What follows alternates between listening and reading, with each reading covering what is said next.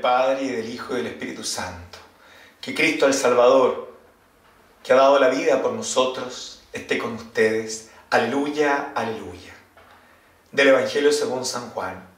Jesús dijo a Nicodemo, ustedes tienen que renacer de lo alto.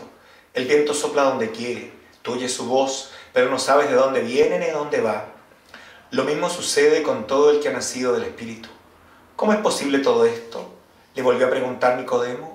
Jesús le respondió, tú que eres maestro en Israel, ¿no sabes estas cosas? Te aseguro que nosotros hablamos de lo que sabemos y damos testimonio de lo que hemos visto, pero ustedes no aceptan nuestro testimonio. Si no creen cuando les hablo de las cosas de la tierra, ¿cómo creerán cuando les hable de las cosas del cielo? Nadie ha subido al cielo sino el que descendió del cielo, el Hijo del Hombre que está en el cielo. De la misma manera que Moisés levantó en alto la serpiente en el desierto, también es necesario que el Hijo del Hombre sea levantado en alto para que todos los que creen en Él tengan vida eterna. Desde lo alto de la cruz, el Hijo de Dios salvó al mundo. Fue necesario tan alto gesto martirial, de entrega radical, para que mirándolo a Él podamos también nosotros creer y llegar a la vida eterna.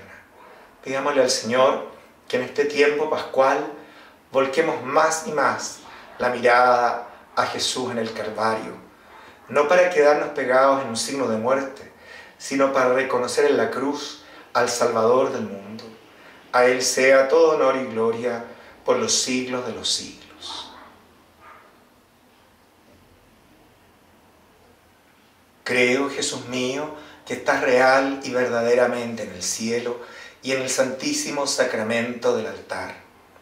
Te amo por sobre todas las cosas y deseo vivamente recibirte dentro de mi alma. Mas, no pudiéndolo hacer ahora sacramentalmente, ven espiritualmente a mi corazón. Y como si ya te hubiese recibido, te abrazo y me uno del todo a ti. Señor, no permitas que me separe de ti. Que desde lo alto de la cruz les bendiga el Salvador en el nombre del Padre del Hijo y del Espíritu Santo.